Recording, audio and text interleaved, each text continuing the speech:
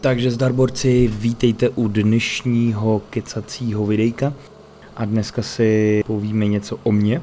Myslím to v tom smyslu, že vám chci jenom nastínit vlastně svoji práci a to, kam možná budou někdy tahle videa, který tu zveřejňuji, odbočovat. To znamená, že já teď normálně pracuji jako instalatér topenář, většinou montu teplní čerpadla, klimatizace, podlahový topení, jsem tam nějaký kotel, opravu nějaký ruční pumpy, nebo dělám prostě většinou nějaký třeba opravy na vodě, jo, a tak dále, připoju boilery. Kdo tohle řemeslo trošičku zná, tak určitě ví, o čem mluvím. Práci se nebráním, s prací nemám problém. Jsem tam jsem chodil makat s kamarádem na střechu, dělat střechy a tohle to, to už padlo, takže nevím, odsaď už asi videa neuvidíte. Každopádně určitě jste si všimli, že tenhle kanál se snažím točit spíš na takový ty technické, mechanické věci, taky ty zajímavosti ze světa chlapů, bych možná řekl. A jedním z mých eh, dalších prací, nebo no řekněme prací, tak je vlastně eh, potápění. Jsem instruktor potápění, takže se tady možná občas budete setkávat nějakýma eh, videama z podvody, nechci úplně dělat se střihy nebo nějaký kompilace, vys to první video o potápění, který jsem sem dával, ale spíš vám chci ukazovat ty mechanické části nebo ty věci, se kterými si tam já hraju vlastně.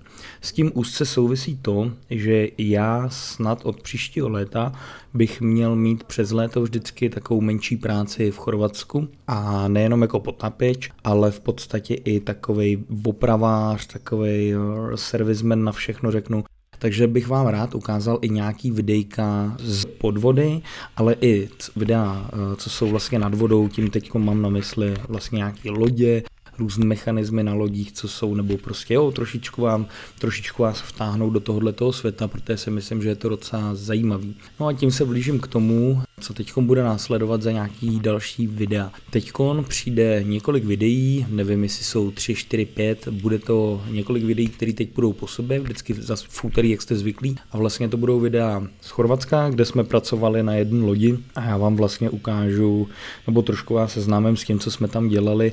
Tu loď jsme vlastně brousili, natírali, dávali se tam plachty a takovéhle věci, ale chci vám hlavně ukázat, eh, hlavně pro mě aspoň dvě takové zajímavé věci. Jedna je ta, když mě vytáhli na stěžeň, tak z toho mám si myslím docela pohledově takový jako hezký zajímavý video, kde se můžete kouknout. A druhý video je vlastně z toho, když oni tu loď v doku zvedali, a zase ji pouštěli dolů do vody. Tak jelikož to byla 11,5 metrová loď, tak to na mě poměrně jako působilo.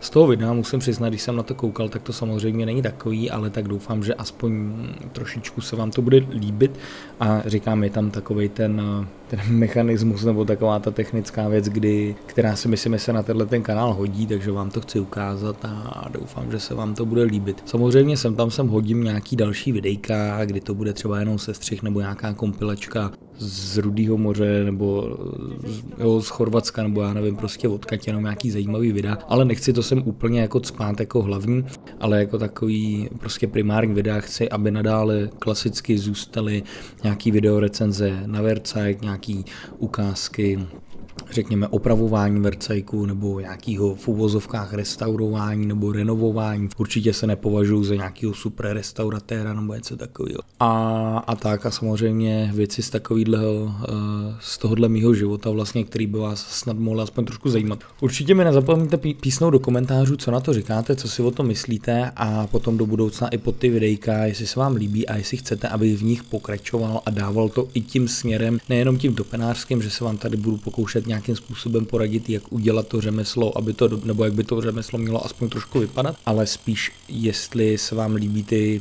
videa těch lodí třeba, nebo těch motorů, co sem budu dávat lodních šroubů a tak dále a tak podobně. Takže zhruba takhle to bude vypadat. Takže teď jsem dám pár videí, který, jak jsem říkal, budou z toho Chorvatska, budou od lodí a tak, ale neděste se, zase se vrátíme k takovému tomu standardu a budu to vždycky tak nějak jako míchat ty videa, budu sem dávat něco z urban miningu, něco z lodí z Chorvatska, něco z podvody a klasicky recenze na Vercajka, různé práce a takovéhle věci. Nezapomeňte mi dát odběr, budu rád. Díky za sklidnutí, mějte se krásně a zatím zdar.